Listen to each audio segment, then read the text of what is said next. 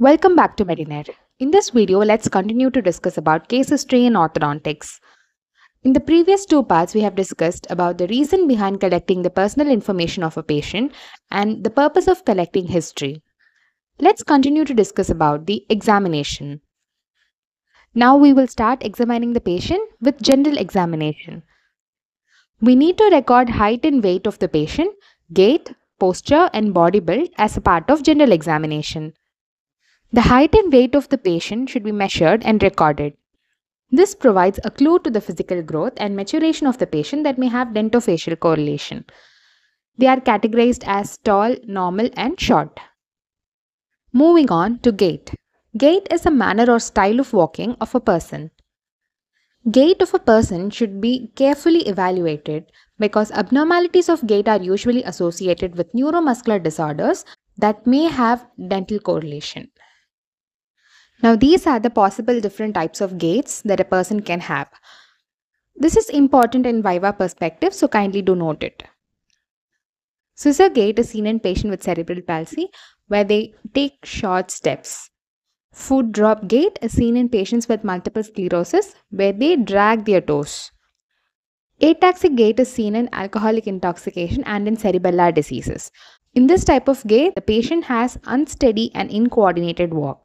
Spastic gait. It is seen in CNS injuries and in this type of gait, the legs are held together and they move in a more stiffer manner. Next type is antalgic gait which is seen in osteoarthritis. It is a type of painful gait and the limb is adapted in order to avoid pain on weight bearing structures like hip, knee or ankle. Next we have hemiplegic gait which is seen in cerebral damage and the patient will have semicircular lateral swing of the affected leg. Festinating gait is seen in Parkinsonian disease and in this patient uses short accelerating steps to move forward. Lastly, we have four point gait. It is seen in crutch users.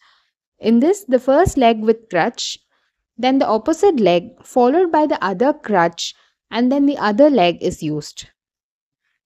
The next thing we need to examine is posture.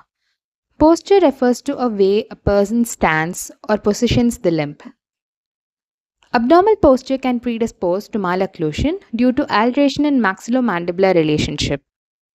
Few examples are kyphosis and scoliosis. Kyphosis referred to forward bending and scoliosis referred to lateral bending.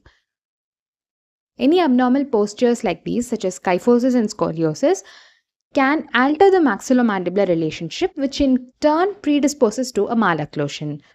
Any poor posture can accentuate the existing malocclusion. Stoop shouldered children with head hung or chin resting on the chest have been known for creating their own mandibular retrusion. Generally, a patient with head held up high is associated with well developed mandible, whereas slouching posture with head held down is associated with class 2 tendency or a deficient mandible. Next, we need to assess the body build or physical status of a patient. Assessment of a physical status of the patient, like the physical buildup of human body, should begin as soon as the patient enters the clinic. Sheldon has classified the body build into three types which is ectomorphic, mesomorphic and endomorphic.